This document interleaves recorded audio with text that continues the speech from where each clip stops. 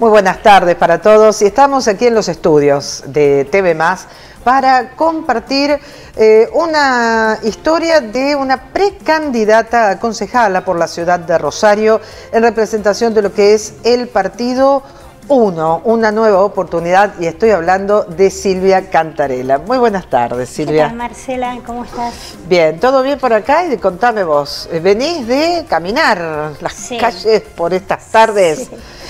La verdad que sí.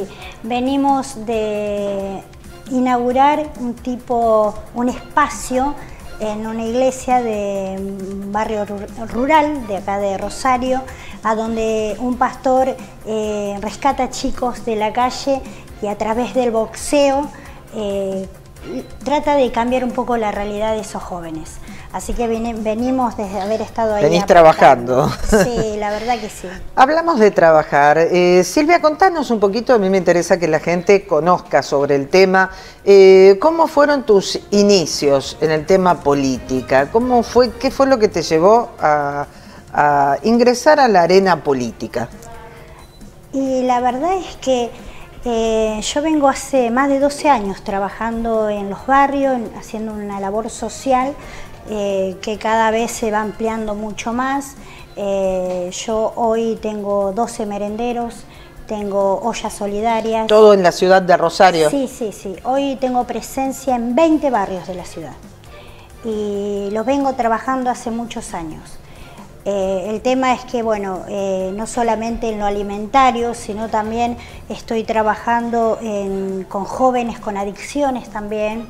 Eh, con madres jovencitas que están solas con sus bebés, también estamos ahí apuntalando y trabajando y conteniendo eh, a muchos jóvenes en situación de vulnerabilidad, porque la verdad es que hoy nos encontramos con eh, barrios muy abandonados, barrios que carecen de un montón ¿Cuál es el que notas que tiene mayor estado de eh, de abandono, mayor cantidad de carencias? ¿En cuál es el que más golpeado está por la situación? Mira, los barrios de la ciudad, eh, encontrarte con alguien que te dice, ¿cómo se llama este barrio? Los Olvidados. Los Olvidados. Los Olvidados. ¿Dónde están Los Olvidados? Es algo increíble que en la ciudad de Rosario tenga barrios que se llaman Los Olvidados. Estuve también hace poco en un barrio detrás, en zona sur, ¿Viste detrás de ese hospital, que el hospital modelo, que quedó ahí en la nada? Bueno, detrás de ese hospital hay un barrio. Hay un barrio a donde eh, no tienen luz, no tienen agua. Eso te iba a preguntar, no, no hay luz ahí. No, no hay calle. ¿Cómo vive esa gente? Y como te decía, olvidada de parte del Estado realmente. Eh, cuando estuve ahí le preguntaba a varias mamás cómo habían hecho en el año pasado los chicos en el colegio. Claro. No lo hicieron. Claro. No lo hicieron porque vos imagínate que no tenés luz, no tenés agua, menos vas a tener No vas a tener conectividad. Exactamente.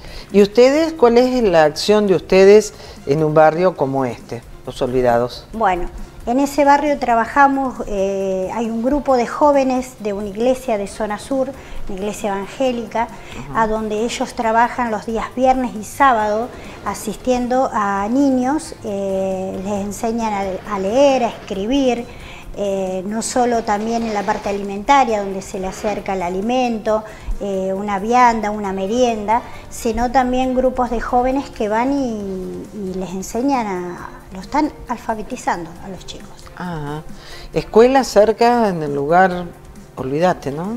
Eh, escuelas hay. Lo que pasa es que, bueno, venimos de un año y medio en cual las escuelas durante el año pasado no se abrieron y lo que llevamos del año hay a medias también.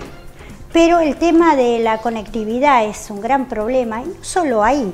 Eh, también estamos, estuvimos trabajando eh, durante este año eh, en un barrio, barrio en Palmegranero, eh, Olavarría y Sorrento, ahí cerquita del puente Sorrento, a donde también los papás me decían, mira, con respecto a la escuela, no pueden hacerlo. ¿Por qué? ¿Cuál es el problema? Y porque en casa son seis chicos y hay un solo celular. Claro, ese es el... Y yo le cargo datos al celular Y te imaginas que con uno se gastaron los datos. Claro. ¿Por qué? Porque tampoco hay internet. Claro. Y es un barrio también eh, en donde estuvimos acudiendo a una necesidad muy importante que era la calle. son dos cuadras donde viven como chanchos. Textuales palabras de, los vecinos. Porque el barro, no poder salir eh, cuando llueve, un basural que tienen en la esquina. Y en esta época, ¿no? Siempre un basural es tremendo, pero. Pero justo en esta época. Y mira, te puedo contar eh, Barrio Unido. Barrio Unido también. Eh, otro barrio que carece de agua, a donde nosotros trabajamos eh, ya hace varios años en una copa de leche, a donde la gente saca agua de un caño al ras de la zanja. O sea, eh, elementos fundamentales, luz, agua, conectividad, para que los chicos hubiesen cursado algo de, lo que es la escuela, ¿no? ¿Hacen los reclamos? Sí los hacemos. Mira, 2019 llevamos a Canal 3 para hacer una nota pidiendo que alguien se hiciera eco de esta necesidad del agua, mostrando con las cámaras de televisión de dónde los vecinos sacan el agua. En el 2019 hizo un reclamo en el distrito. Claro. Había un proyecto para ese barrio, para el 2021. 2019. Había un proyecto para, el 2021. ¿Y actualmente? Que obviamente no sucedió porque, bueno, la pandemia, yo digo que la pandemia agudizó lo que estábamos viviendo.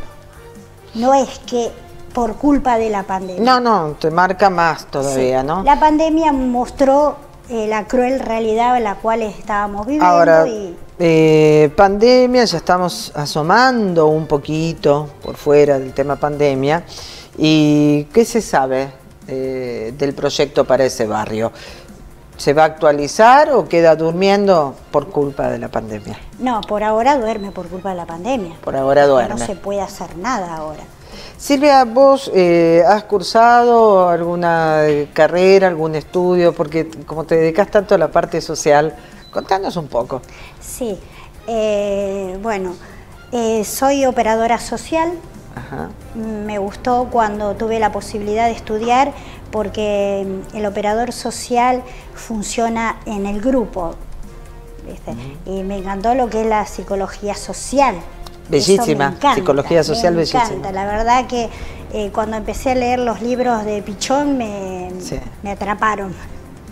Y, lo ve desde otro, tiene otra mirada. Sí, sí, totalmente. Pero bueno, es apasionante y poder ejercerlo también. Y después, bueno, estudié en la Facultad de Derecho, asistente jurídica, también. Eh, Las dos cosas se juntan para esta actividad que vas, eh, vas llevando. Que vamos llevando día tras día porque eh, lo que hago lo hago con pasión. Yo dediqué mi vida a ayudar al prójimo. Lo hago desde un lugar del, del corazón. ¿Tenés hijos? Sí, tengo. Tengo cinco hijos eh, cuatro biológicos y una del corazón, eh, cuatro nietos, una hermosa familia realmente, eh, la cual me acompaña muchísimo. Qué bueno que te acompañe la familia. Una hija del corazón. Ahora que después quiero que me cuentes la historia de la hija del corazón. Dale. Dale. Te propongo hacemos una breve pausa y ya volvemos con Silvia Cantarela, precandidata concejal de la ciudad de Rosario por el partido una nueva oportunidad.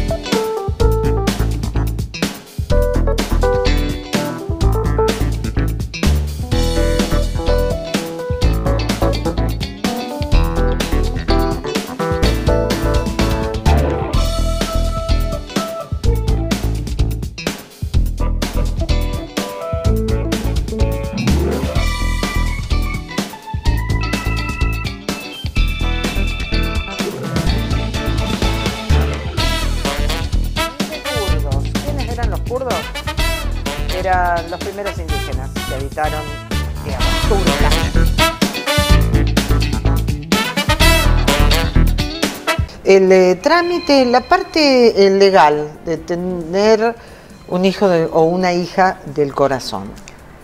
Y fue muy, muy difícil, muy duro. Eh, me llevó ocho años y medio la adopción. ¿Ocho años y medio? Sí, una locura.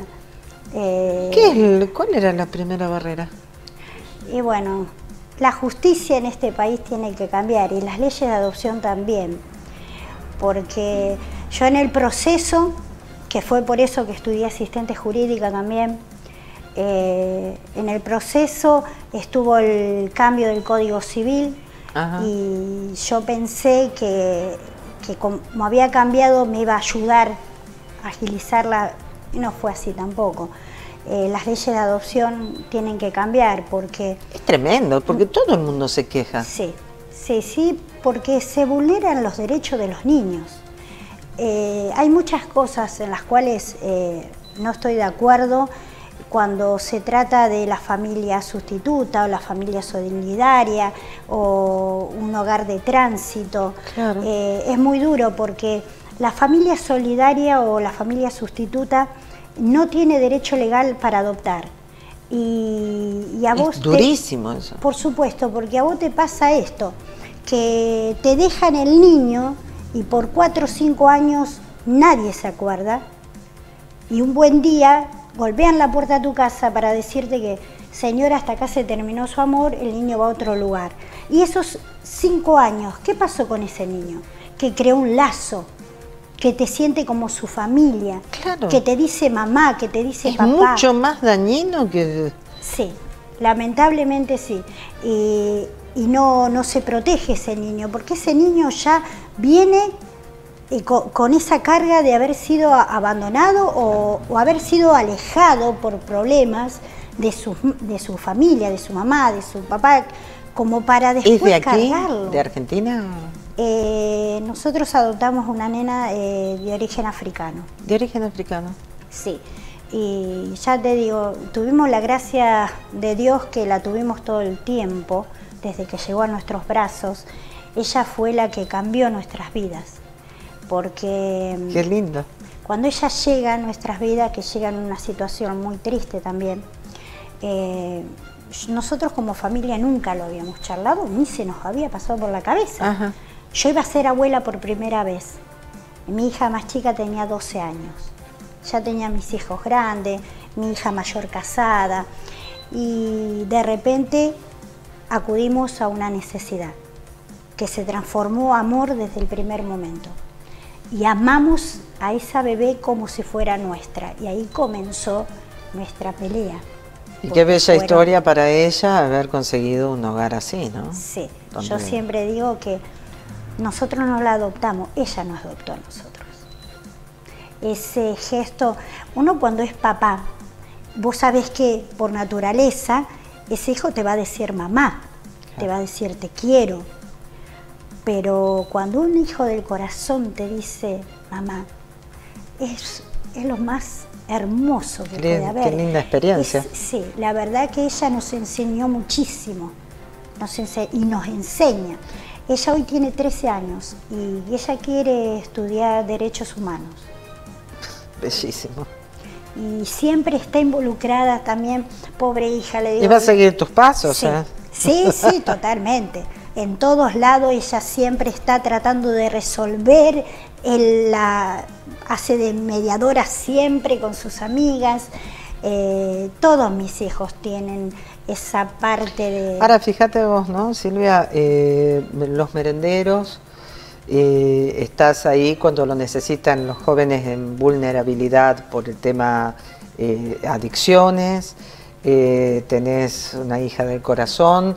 Ahora la pregunta es, con todo esto, que tenés una base formidable, ¿no? ¿Cuál es la propuesta que vos tenés para que la gente te vote para que de precandidata pases a candidata. Ahí está tu cámara. Contanos. Y yo eh, pretendo hoy una banca en el Consejo eh, porque quiero seguir trabajando, quiero trasladar todo esto que la vida me enseñó y tantos años de trabajo en los barrios. Eh, hoy yo quiero acercar a los vecinos la política. Yo creo que hoy la política está muy lejos de los ciudadanos, muy lejos. Y yo creo que Rosario se merece una nueva oportunidad. Qué bueno esto que decís, ¿no? La política está muy lejos de las personas. Sí. ¿Qué miradas tenés? O sea, ya saben, quiere llevar la política cerca de la gente, que la gente la viva de cerca. Ese es un punto. Sí, sí, es el punto principal, más allá de que tenemos muchos. Eh, muchas propuestas, porque proyectos serían ya cuando uno es concejal, ¿no? Pero una de las cosas también las cuales eh, quiero trabajar mucho es que podamos tener en cada distrito de la ciudad una oficina que esté los siete días de la semana, las 24 horas, para asistir a las familias de los jóvenes o de las personas en situación de droga. Eh, bueno. Hoy atraviesan los papás una desolación, eh, una marginalidad. Eh, hoy tenemos muchos de los lugares que estaban abiertos a causa de la pandemia, han cerrado los lugares públicos y los privados son muy costosos. Y una familia de un barrio no llegue, no, no, llega. Exactamente. Entonces poder brindarles a las familias un lugar de contención. Y ahí es donde vas a hacer hincapié seguramente en lo que es la parte de psicología social, Silvia, ¿no? También. Fundamental. Sí, fundamental. El Estado durante este tiempo, el Estado municipal o provincial, ¿ha colaborado con ustedes en los merenderos o ha estado a mitad de camino? No, no, yo no puedo decir que no, no, me han colaborado porque desde el 2018 la provincia me ayuda mucho con parte de mi trabajo. Durante la pandemia nunca me dejaron de asistir tampoco, así que del lado de la provincia tengo que decir que, me han acompañado. Eh, me siento acompañada también y bueno, si bien mucha de las partes de lo que nosotros hacemos lo hacemos a pulmón, pero el acompañamiento de la provincia fue importante. No estuvo ausente entonces. No, no, estuvo ausente. Eh, ¿Qué mirada tenés, eh, Silvia, acerca de lo que hoy, eh, hace ya un tiempo, pero hoy está muy pronunciado el tema de, de las balaceras, con esto del narcotráfico? ¿Pensás que se necesita solo mayor, digamos, eh, patrullaje de la policía o hay algo que va más a fondo?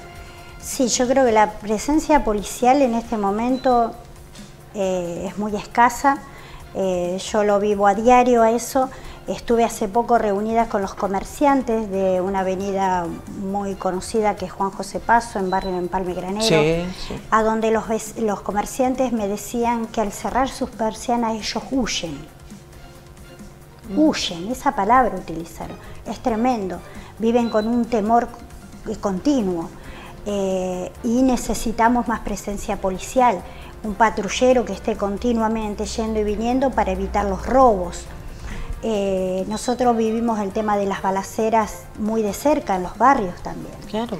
Eh, necesitamos que nos cuiden, eso es algo que lo vivimos y es un pedido de auxilio continuamente, que necesitamos que nos, cuiden. Yo creo también, y es algo en lo cual trabajo y, quiero seguir trabajando, eh, es el tema de la prevención. Creo que nosotros debemos prevenir eh, trabajando con el niño, trabajando con el joven, el adolescente, para que no termine siendo un joven narcotraficante o vinculado. Un soldadito. Exactamente. Es rescatarlos desde niño.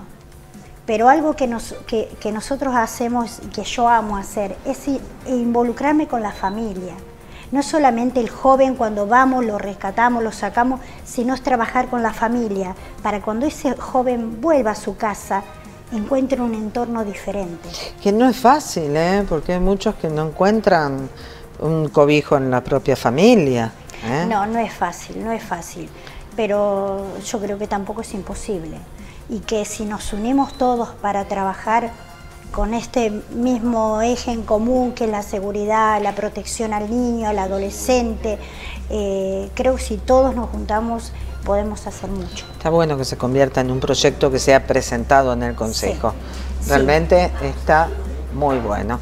Bueno, breve pausa y seguimos, seguimos con más charlas aquí con la precandidata eh, Silvia Cantarela.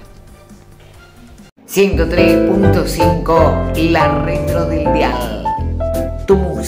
La mejor música retro, la vas a escuchar en el 103.5. Desde hace ya casi 18 años estamos en el aire de la ciudad de Rosario con este mismo dial, 103.5 MHz. La Retro del Dial www.tvmas.com.ar y te vas a conectar con nosotros a través de todo el mundo por esta plataforma multimedia digital 103.5 La Retro del Dial.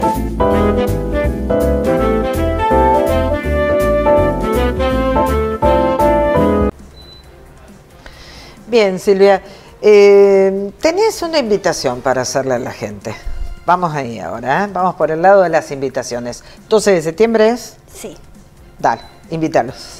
Le pido a, los ciudadanos de Rosario, a la cual amo. Rosario, eh, yo nací, crecí en Rosario, amo la ciudad de Rosario y me duele mucho ver que hoy mis nietos no pueden hacer lo que hicieron mis hijos, los que hice yo cuando era niña. Yo crecí en la zona sur hasta los 12 años, luego me fui a la zona eh, noroeste, en Palme Granero, y todavía vivo ahí. Le pido que me acompañen el 12 de septiembre. Pretendo una banca en el Consejo de la Ciudad de Rosario, porque creo y estoy segura y convencida que Rosario se merece una nueva oportunidad. Gracias, Marcela. Ah, gracias a vos, Silvia. Un encanto de persona. ¿De qué signo sos? Mira, creo que de cáncer. De cáncer. Soy del 2 de julio. Bueno, eh, cáncer. Somos buenas. Buenísimas, pero muy rectas. Sí, ¿no? Sí. Muy rectas, no, no bromeemos con la gente de cáncer porque es hasta acá llegaste. Sí. Realmente. Eh, Silvia, eh, bárbaro el tema este de que estás trabajando con los chicos, que vas a seguir trabajando, que vas a... Me quedo con esta frase, ¿no? Acercar la política a la gente. Y me queda otra pregunta para hacerte. ¿Qué mirada tenés de políticos, se le puede llamar, eh, como algunos que salen insultando a sus propios, a los propios de su, de su arco político, ¿no? Eh, un poco distante, porque en realidad vos acá presentaste la idea de lo que querés que se presente como proyecto cuando seas electa, candidata, y llegues al Consejo. Pero ¿qué opinás de la gente cuyo objetivo no es una idea de yo quiero que me elijas por esto, sino vamos a matar a fulano. Está lejos, ¿no? Sí. No, no va conmigo, no es mi esencia. Eh, yo creo que nos tenemos que unir todos por una Argentina mejor, por un futuro mejor, eh, por la descendencia, por los que vienen. Eh, yo quiero dejarle a mis nietos un país mejor y creo que esto se logra en unidad. No sirve estar tirándole. Ya está. Cada uno se va a rendir cuenta cuando lo tenga que hacer de los actos. Yo prefiero enfocarme en mi trabajo, en lo que vengo haciendo, en lo que quiero seguir haciendo, porque tengo muchos más proyectos, Marcela, y, amo lo que hago. Lo amo, lo vivo con pasión. porque manejas, mira como tenés 12 merenderos en las redes sociales. ¿Te manejas con redes sociales? ¿Sos redaria o mazo? ¿No le das? Eh, bueno, tengo a gente, que, me ayuda muchísimo. Eh, pero en mis redes sociales eh, soy Silvia Cantarela, una página de Facebook, en Instagram. Silvia Cantarela. Sí, Silvia Cantarela. ¿Qué encuentra la gente allí? Todo mi trabajo. ¿Tu actividad? Que haciendo hace varios años y te digo más, no va a encontrar todo mi trabajo porque no soy de estar publicando, no lo era. Ahora es necesario para que la gente conozca. las redes. Exactamente. Va a encontrar, pero sí va a encontrar de años atrás, que no es que hace dos meses que estoy en la calle porque quiero ser concejal. 12 años. 12 años estoy en la calle. 12 años, Silvia Cantarela, un gustazo tenerte aquí en los estudios de TV Más. Y ya saben, el 12 de septiembre, partido 1, una nueva oportunidad. Muchas gracias por gracias, tu tiempo. Gracias, Marcela.